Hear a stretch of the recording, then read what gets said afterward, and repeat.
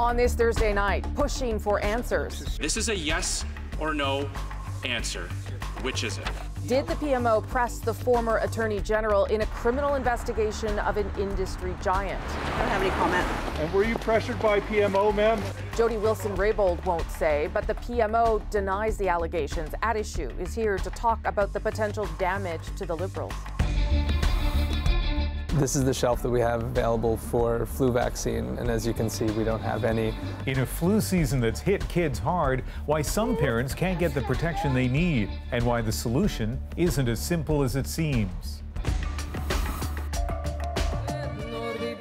I think it was important to record the songs in the language, in the tone, in the spirit in which they were written. And a trove of recently discovered lyrics tells the story of ordinary Jewish people in a dark time, turning their history into art all the way to the Grammys.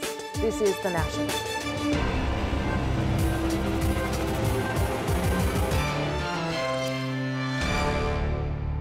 The Prime Minister and his office are under fire tonight. A report in the Globe and Mail says the PMO pressed the former Justice Minister to intervene in a criminal case involving charges against Quebec based giant SNC Lavalin. The story dominated question period. It's quite clear that we are seeing the beginnings of a cover up here. Did anyone in the Prime Minister's office at any time communicate with anyone in the former Attorney General's office on the matter of the criminal prosecution of SNC Lavalin. The Globe and Mail reported this morning that Trudeau's office pressed Jody Wilson-Raybould to step in to help Canada's largest engineering and construction company in its legal dealings with prosecutors. Justin Trudeau says the story is false. But as David Cochrane tells us, Wilson-Raybould herself is saying, staying silent. It seems like an explicit denial. The allegations in the Globe story this morning are false. Uh, neither the current nor the previous Attorney General uh, was ever directed by me or by anyone in my office uh, to uh, take a, a decision uh, in this matter. Until you parse the words, which is exactly what the opposition did. It obviously sounded like the, those words were written by a lawyer, not uh, not the prime minister's own words. He was he refused to answer questions about whether or not there was any interference. He kept coming back to a very carefully, legally vetted response. The focus is on Trudeau's use of the word directed, which is not what the Globe and Mail reported. The newspaper says Trudeau's office pressed his former justice minister to intervene in the SNC Lavalin case, and she refused. The construction giant is facing criminal charges for allegedly bribing Libyan officials to get contracts. A conviction would mean a ban from doing government work for 10 years. The pressure, according to the Globe, was to allow SNC Lavalin to pay fines and restitutions instead of facing those criminal charges. Are you saying categorically there was absolutely no influence or any pushing whatsoever in this? The allegations uh, reported in the story are false.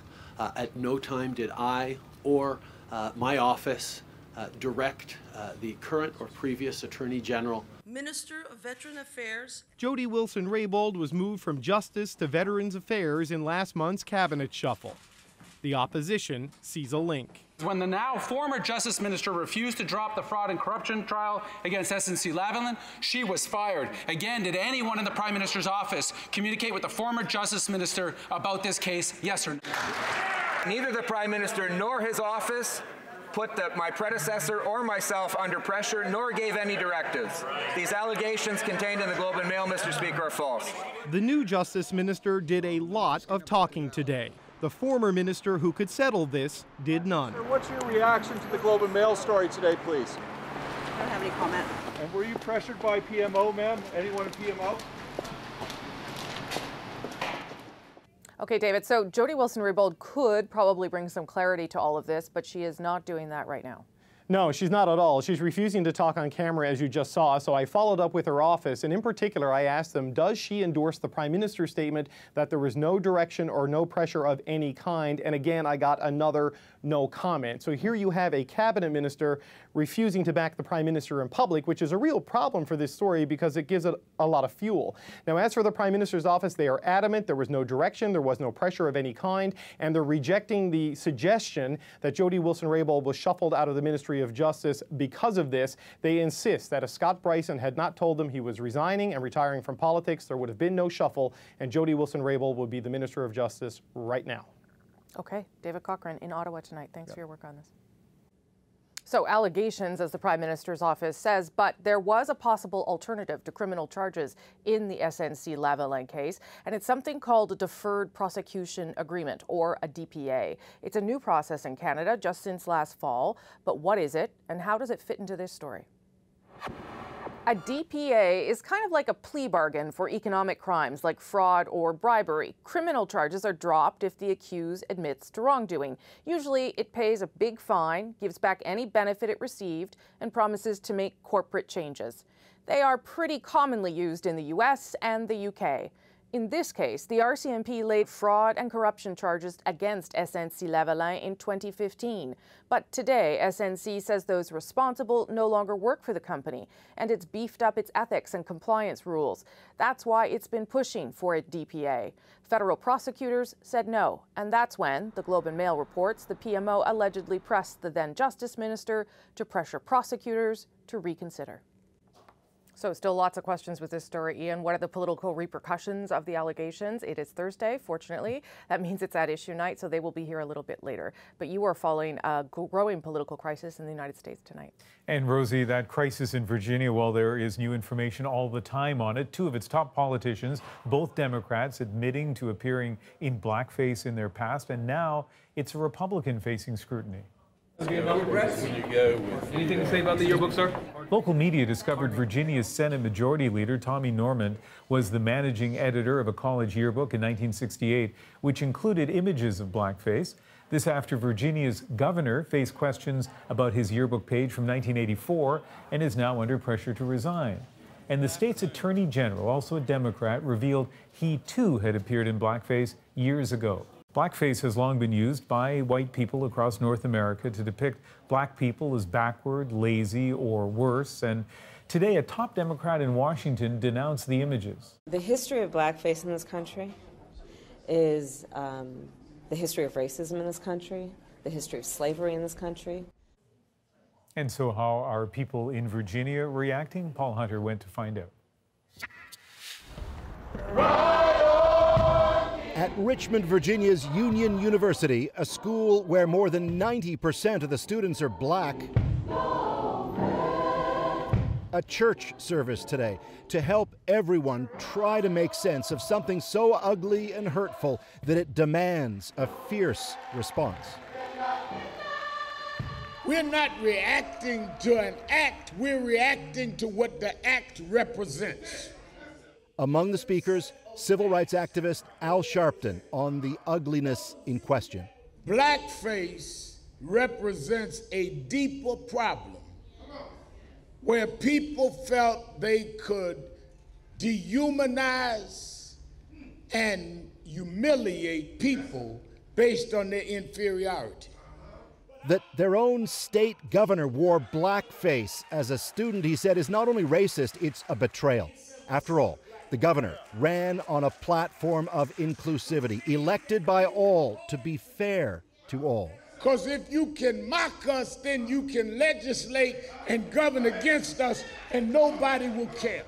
Indeed, outside the church, the view is it's all evidence white politicians play black Americans for votes too often individuals that come to campaign, it's a song and dance. They campaign everywhere else on the last Sunday before election uh, day. They go to the biggest black church they can find. Uh, they get rallied behind the NAACP, and that's how they have been trapping us. Almost exactly 400 years since the first slave ships arrived in America, landing in Virginia, it's clear the state still grapples with that old problem of race. And it's hardly just black Americans who struggle with what to make of their governor and others caught up in this. How do you feel about what's going on at your state capital? I'm embarrassed, um, and as a Virginian, I am ashamed. I'm, I'm ashamed to be a Virginian. Back at that church service, speaker after speaker reminded everyone they cannot be silent on this. And the only way that the enemy can be scattered is that we expose this. And once it's exposed, once we acknowledge, then we can dispose of it. Good, how are you? Said Sharpton, the bottom line is the governor must go. 400 years ago, it was slave traders. Don't get down in the Capitol 400 years later and become blackface traders. So, Paul, beyond the people we saw in your story, you spoke to, to a lot of residents and anger we heard. What about surprise? Yeah, well, I mean, certainly people were surprised that the governor has acknowledged being in blackface. I mean, as I say in the piece, um, he effectively campaigned on inclusivity. It was part of his political brand. It was a big reason uh, so many people, black and white, voted him into office. So are people surprised the governor has done that? Uh, yeah. Um, but are black people surprised that the attitudes behind that persist in this country 400 years later? No. I mean, there's evidence of it in you know yearbook after yearbook that's emerging, uh, in every underfunded school in a black neighborhood, every underfunded housing project in a black neighborhood, every every interaction with police. It seems. I mean, Charlottesville is just up the highway from here, right? So is is it a surprise to black people that that attitude persists? No. Um, is it hurtful? Still? Yes. Surprising? No. Paul Hunter reporting from Virginia tonight. Thanks.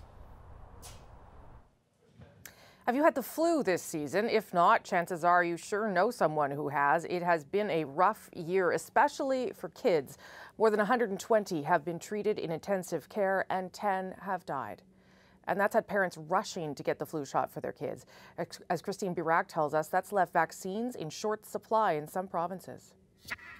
So this is the shelf that we have available for flu vaccine, and as you can see, we don't have any. It's not an easy conversation to have with parents, but I unfortunately wasn't able to give you the flu vaccine. Pediatrician Jacob Rosenberg is having it. People are getting the vaccine. Unfortunately, uh, we ran out. leaving six month old Jessica here and other young children in Ontario vulnerable to a flu strain that's hitting them particularly hard to not be able to give a baby at six months old, the highest risk group, just seems absurd. and it's not too late. Flu season happens in waves. As the first strain begins to wind down, Dr. Rosenberg says another is coming. Now, influenza B can be particularly dangerous for children, and to not have the, an opportunity to be covered against it is, is a shame. Ontario Public Health says there is flu vaccine in the system. Problem is, it's largely in pharmacies, and they aren't authorized to vaccinate children under the age of five. While other provinces are also beginning to run low, Nova Scotia is actually rationing flu shots. I was surprised because we never thought that we will run out. The province's chief medical officer of health is asking that pharmacists collaborate with local physicians to ensure children have access to vaccine. But moving the vaccine around is harder than you might think. It must be kept cold, but never frozen.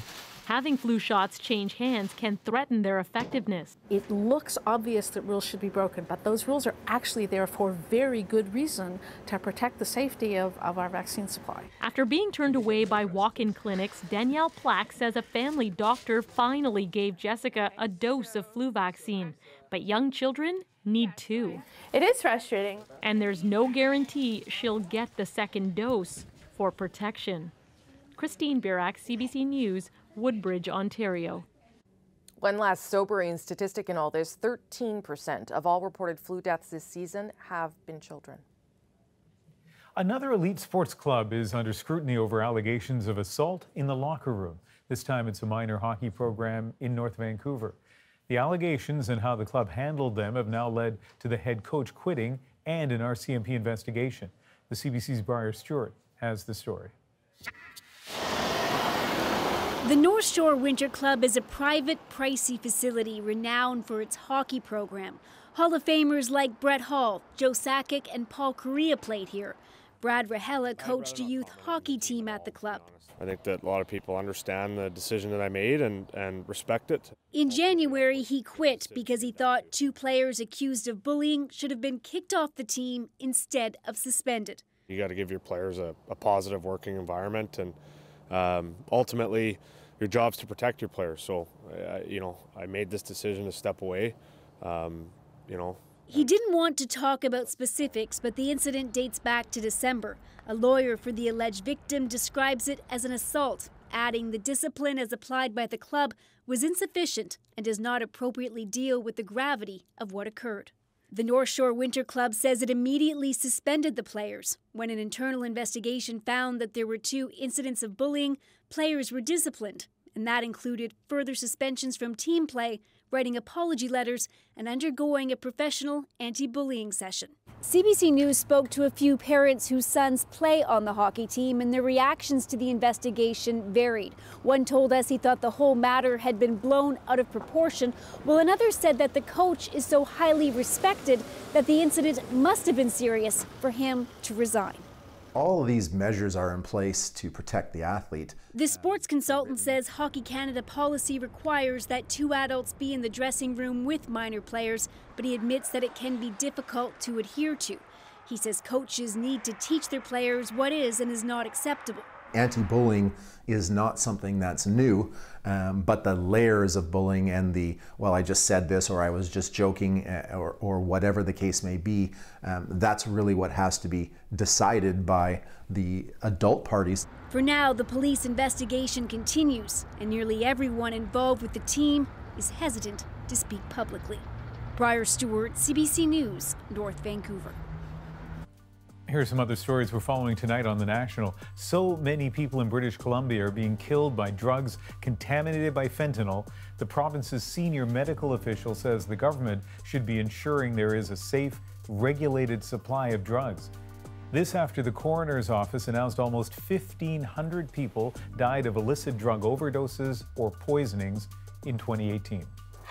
Give you some perspective on that.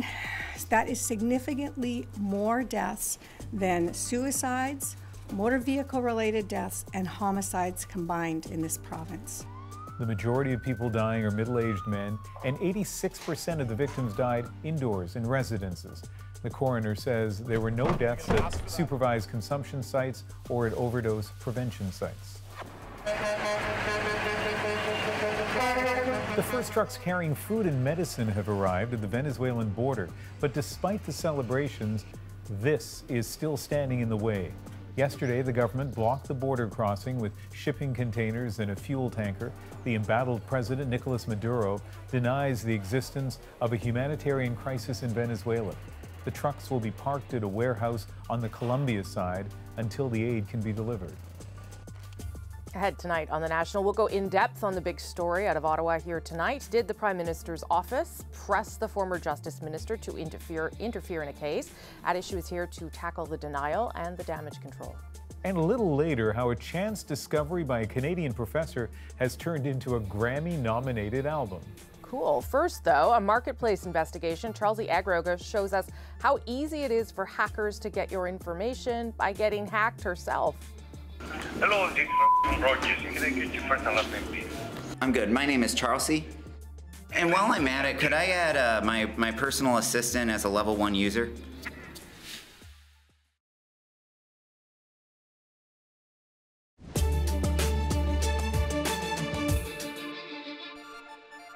Everyone's always going to get hacked. It's just a matter of when that happens, not if that happens. And it's how do you respond to that. This week's Marketplace investigation has found an old fashioned con is targeting Canadians in new ways. Hackers are using their powers of persuasion to gain access to telecom accounts. All they need is a few pieces of your personal information. Charlsie Agro shows us the hack in action. Hello, this is Rogers. Can I get your first and last name, please? I'm good. My name is Charlsie Actually, his name is Joshua Crumbaugh. He is an ethical hacker impersonating me to illustrate how the latest type of phone hack works. Uh, Chelsea, can I get your postal code, please, and date of birth? Uh, date of birth is February. A few personal details later, and this customer service rep is buying it. Crumbaugh is in my cable account, and I'm locked out. All right, and, and while I'm at it, could I add uh, my, my personal assistant as a level one user? Absolutely, yes. The technique he used is called social engineering. A hacker charms a customer service agent using a few publicly available pieces of my personal information, eventually convincing them to hand over the rest. It's just psychology. So if you understand how somebody's going to react to something, you can easily uh, manipulate somebody into giving you information or access to things that maybe they shouldn't. While I got locked out of my accounts, others have suffered far worse at the hands of hackers. $30,000 equivalent in crypto. Former cryptocurrency executive Erin Tomlinson lost thousands after hackers used a series of eight online chats to convince customer service reps to hand over enough information to take over her account. As far as she can tell, the hackers only had her name and telephone number when they started. They were given my account number my email, my credit card information, my birth date, um, the amount of data on my account, my last bill amount. Tomlinson's losses may sound extreme, but companies around the world say social engineering attacks are on the rise. Since Canada's Privacy Commissioner started requiring companies to report privacy breaches in November, there have been more than a dozen reported cases involving social engineering in this country's telecommunications sector alone. From your perspective, what could companies be doing to better protect consumers? I, I, think the biggest thing is education. We have got to do more in making our people aware that these things happen. Well, I mean, it's it's obviously alarming. Um, every, every Canadian for sure is at risk right now. And so, Charlsie, uh, what did Rogers say to you? Well, Ian, they do tell us they take their customers' privacy and security very seriously. They also say they provide ongoing training for their staff. And when it comes to MyHack, they say their verification processes were not followed properly by that customer service rep. Now, Erin obviously not happy with how things worked out in her case. She's suing, but but beyond that, what should companies and consumers be doing differently? Ian, experts that we talk to say companies need to do a better job educating and training their staff. They also say, though, that those security questions that rely on personal pieces of information just don't go far enough. It's too easy for a hacker to find out your postal code or your email address. They say those questions need to change. In the meantime, though, they do suggest consumers consider adding a PIN to your account. I know it didn't work in my case, but try not to connect it to a personal personal detail like a birth date or an address. They also suggest you consider adding a personal security question to your account, something that only you know or consider making up a fake answer to some of those questions, even harder for a hacker to guess. And then lastly, Ian, the number one thing consumers can do, vote with your wallet. If you're not happy with the privacy and security measures offered by your provider, consider switching. Thanks, Charlsie. You're welcome. And you can watch the full Marketplace investigation tomorrow night on CBC television. It starts at 8 p.m., 8.30 in Newfoundland. Up next on The National, the Prime Minister denies the allegations, but the opposition still wants answers. Was the former Justice Minister under any kind of pressure to help SNC Lavalin? Andrew, Chantal, and Althea are all here for At Issue, and that's right after the break. And a little later in tonight's moment, Tom Power, the host of CBC Radio's Q, gets an impromptu show from two of music's biggest names. They just walk in, and David says, and all of you can come too, right? So all the Sting's publicists, our producers, uh, David Foster's publicists, a pretty big team, all just crowd in here.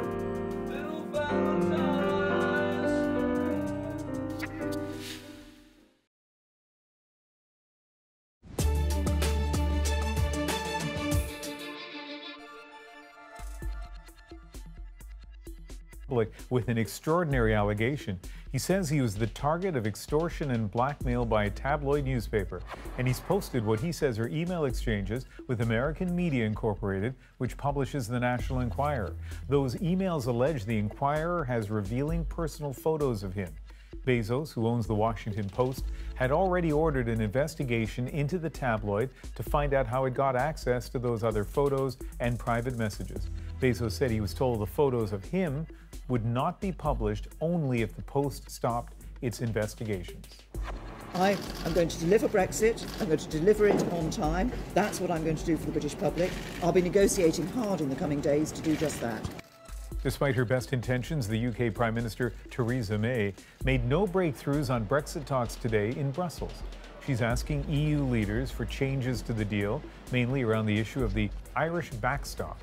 But the president of the European Commission says he will not reopen the agreement. It's not all over just yet, though. The two sides are set to meet again at the end of the month.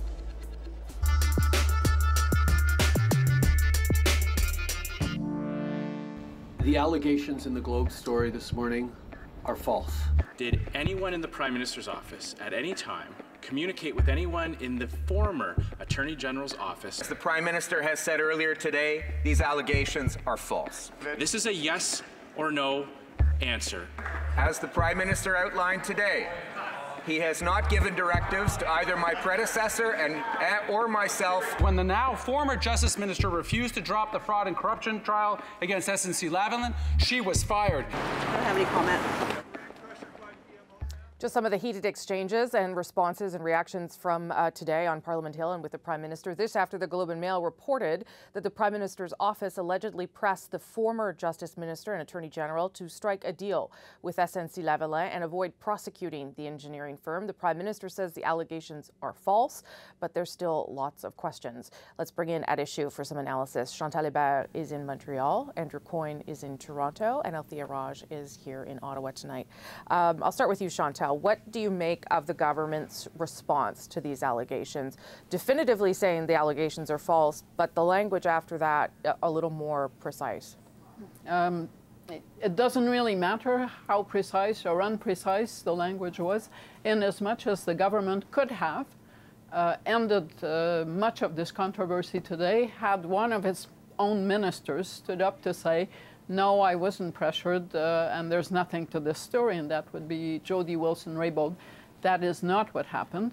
And so you are treated to the sight of uh, the Prime Minister and the minister at the center of the story, clearly not on the same page.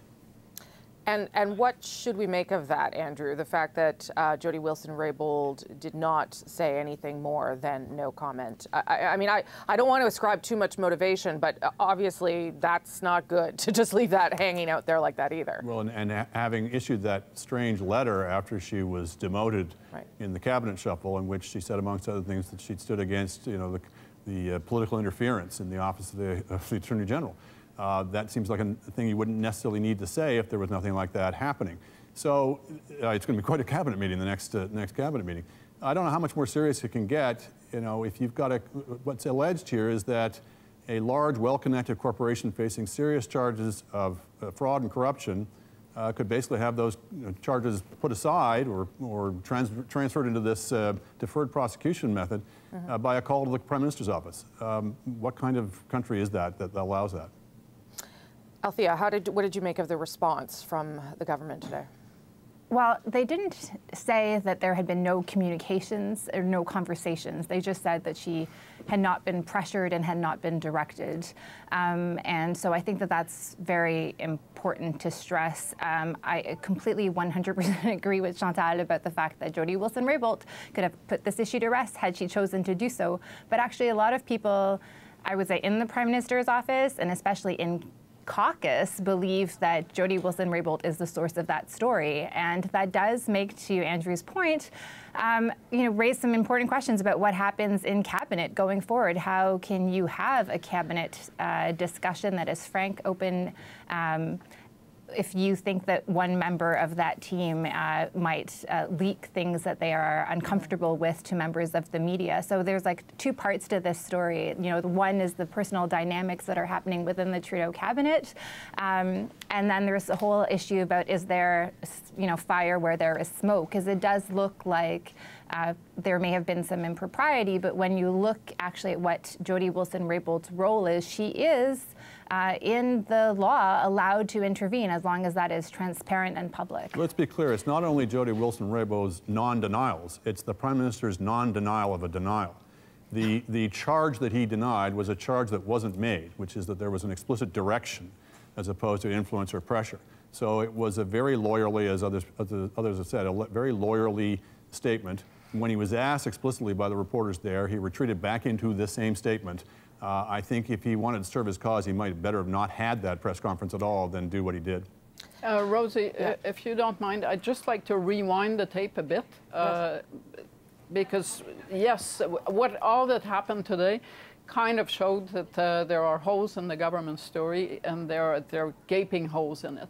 But if you rewind and you look at the entire picture, what you see is the insertion of this legal mechanism to replace prosecution it goes back to 2017. So this looks like something, if it, there is something, that started way before there was a clash in a conversation, or call it what you want, uh, with Jody Wilson-Raybould.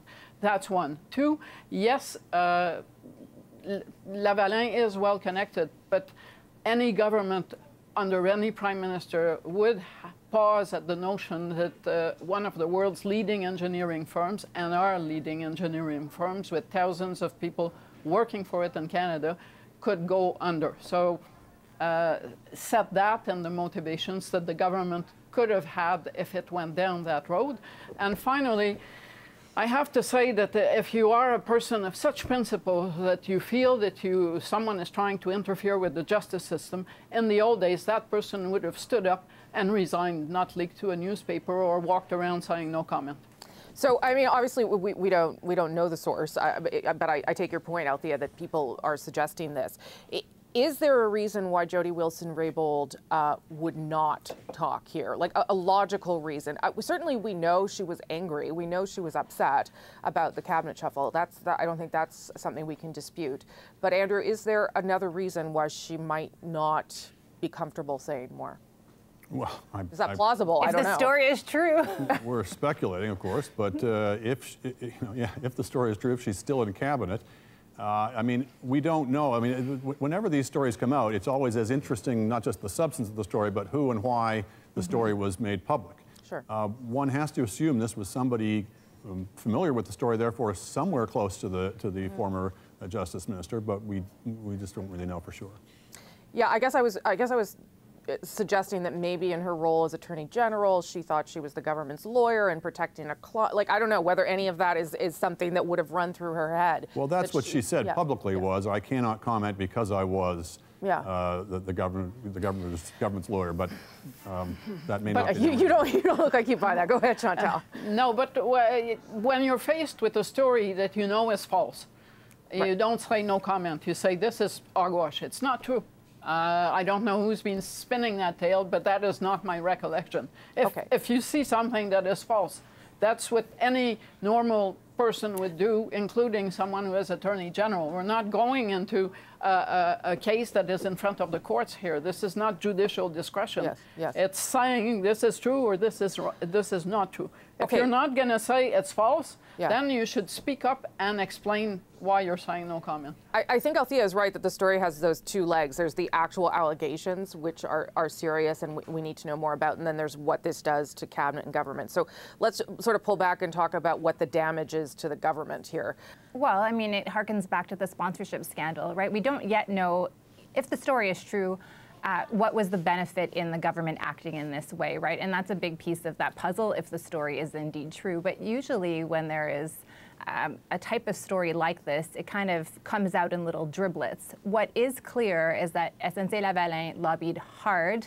Uh, the Liberal government at all levels, whether it was cabinet ministers directly, the staff in their offices, the prime minister's office. And in fact, after it was made public that the pu- public prosecutor was not going to offer them uh, this sort of version of a plea bargain, uh, they actually met with Ambassador McNaughton. They met again with the Prime Minister's office, and then they came out and said they were going to appeal the decision. So, from the record that is public, and in, if there is a meeting that the PMO asks for, for example, SNC Lavalin doesn't need to register that. So, the, the snapshot that we have makes it very clear that they were extremely dedicated to this issue and putting immense pressure on the government. It would be wrong of the uh, Attorney General herself to interfere with the Director of Public Prosecutions without posting it publicly. There are provisions in which she can make, issue instructions, but it has to be public. So you have that combination of accountability and yet independence from political interference. It is especially wrong, or would be especially wrong, if there were political staff in the Prime Minister's office pressuring her to do so on behalf of, let's not forget, a company that just recently essentially evaded charges. They, were- they did a compliance agreement on, on charges of funneling over $100,000 in illegal campaign contributions to the Liberal Party of Canada. So if there was anybody they were ever going to uh, inter- intervene with or make any suggestions, any representations of any kind, the last one should be SNC Lavalin. So that just makes it absolutely radioactive in this case. Mm. And whether, you know, SNC-Lavalin likes to, would like to pursue a strategy of saying, oh, there'll be all these jobs lost if we actually have to face criminal prosecution, I'm not sure that really should sit well with people, of sort of basically taking those workers hostage to avoid accountability and responsibility for what they are accused of having done. Okay, so, well, yes, last word, Mind you, uh, the notion that you are banned for a decade from pursuing federal contracts yes. and what that does to you internationally is not just a slap on the wrist, and it does impact on those workers. Sure. Uh, I, and I hate to use those words, but I'm convinced that part of the argument, if someone went down the road of arguing for giving uh, SNC-Lavalin a pass from criminal prosecution in exchange for uh, giving money back, etc., would be too big to fail. An argument that we heard at the time of the global financial crisis. This is not a small uh, company whose demise would not be felt uh, not only on the jobs front, but uh, on the innovation front. So yeah. I'm guessing that was what they lobbied on. It couldn't have been on their contributions to the liberal coffers anymore because those have become In 2011. Illegal. Yes. Okay. Got to leave it there. Thank you, everybody. Appreciate it. Before we go, though, be sure to subscribe to At Issue, the podcast, for extra content. This week, we're also talking about the growing tensions in Alberta, given I just come back from there, around the future of the energy industry. Look for it on iTunes, any major podcast app, our website, cbcnews.ca slash the national. And up next on The National, the Grammy nominated album Bringing History to Life. How a Canadian professor helped unearth the stories of ordinary Jewish people during the Second World War. One thing that we didn't expect to see in this collection that so much of it is humorous. It showed that Jews were laughing in the circumstances where we can't imagine people laugh.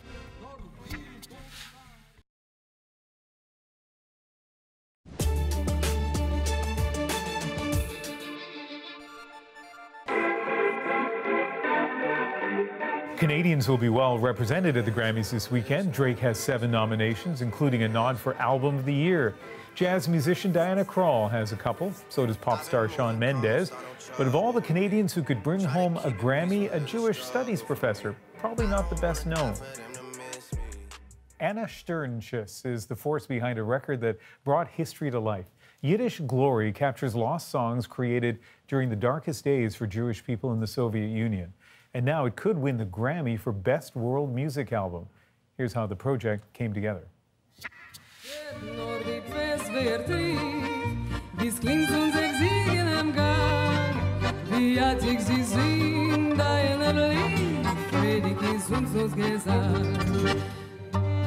The rumors that the songs were collected existed, but scholars believe that this collection was destroyed and never survived the war. Turns out it did survive the war.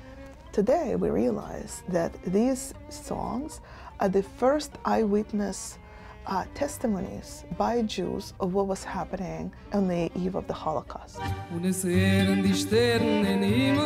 They're not beautiful songs crafted by the best songwriters of that era. They're songs written by ordinary people living their lives, experiencing the war, experiencing Hitler and Stalin and all of that, and uh, somehow maintaining, continuing to live a life and writing in their own voices.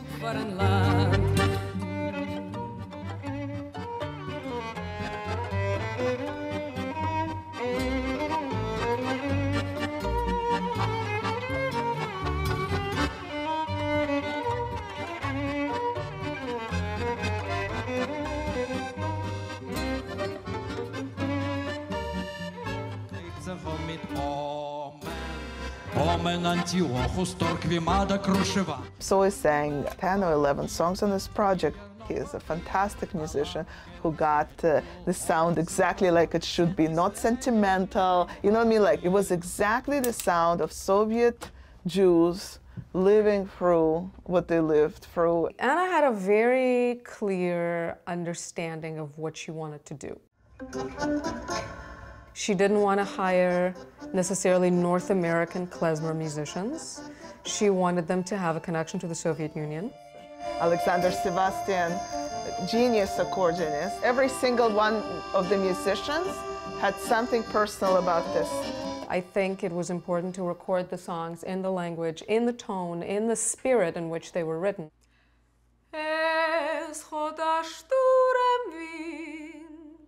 Mir gebracht in Asien und ich weiß schon gut, dass sind es ist do ein Land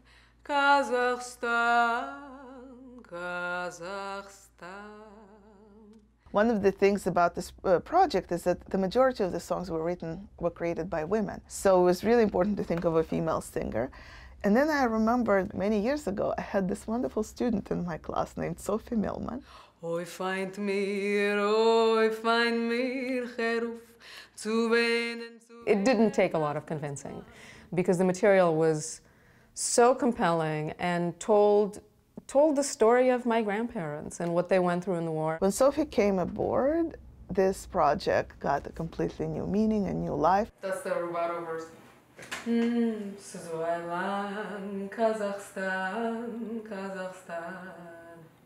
And this song, Kazakhstan, talks about the whole Europe is after Jews. We're refugees everywhere. We're not welcome anywhere. And now we ended up in this weird place, which doesn't make any sense. Berg mit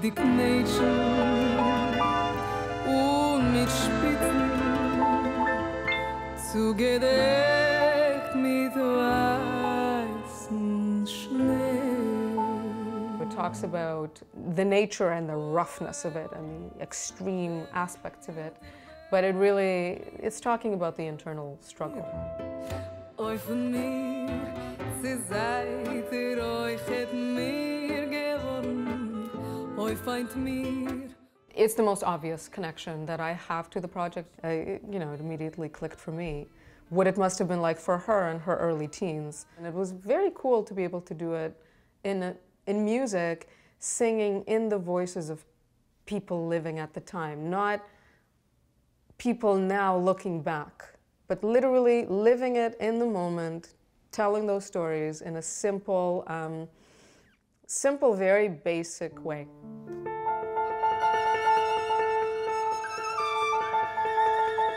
Some of the most violent songs in the collection were written by women.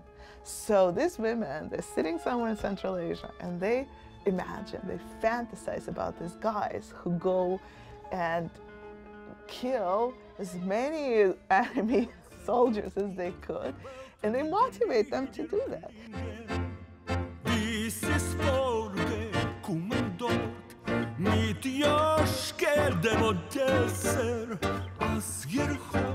Geschlagen als sie, sich mit dem Feind auf Messer. He bashed those fascists without a care, not a bit of respect.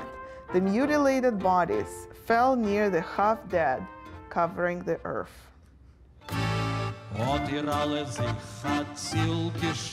One thing that we didn't expect to see in this collection that so much of it is humorous. And Purim Gifts for Hitler is one of those songs. It showed that Jews were laughing in the circumstances where we can't imagine people laugh.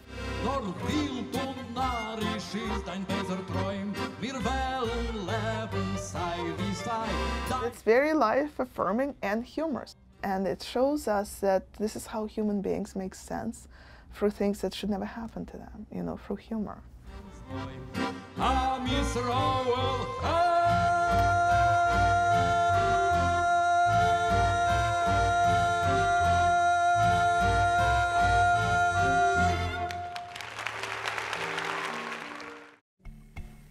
Up next on The National, you'll see another musical performance. This one, though, is off the cuff.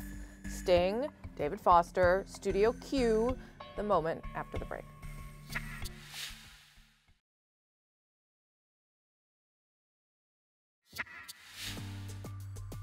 Tom Power and the team at CBC Radio's Q got a surprise earlier this week, a spontaneous performance they had no hand in producing. Tom had just finished an interview with the one and only Sting, and he was just about to do another with David Foster, and one thing led to another, and the two were doing an impromptu performance of My Funny Valentine right on set. So we asked Tom about what it was like, and that is our moment tonight.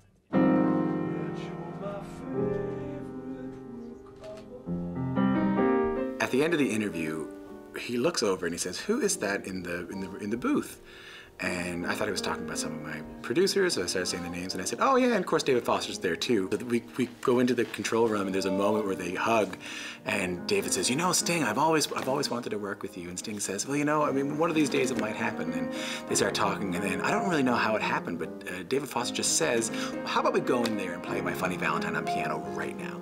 And Don't change your hair for me.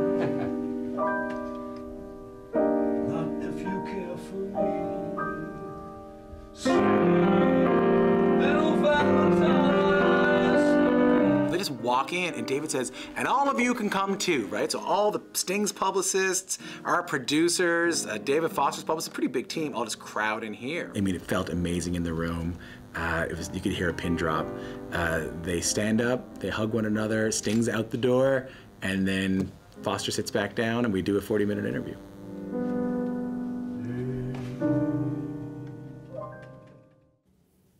Okay, I was just Googling uh, how old Sting is because he looks really good. Uh, but also, Tom's got a cool job because, um, you know, that was, that was just impromptu uh, and off they went.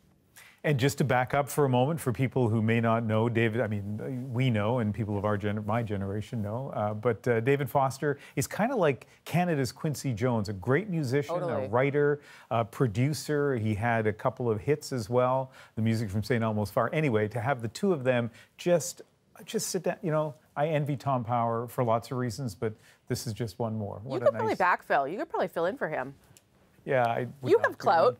Tenth of the job that he does. But anyway, what a nice moment on our moment. That is the National for February the 7th. Good night. Night.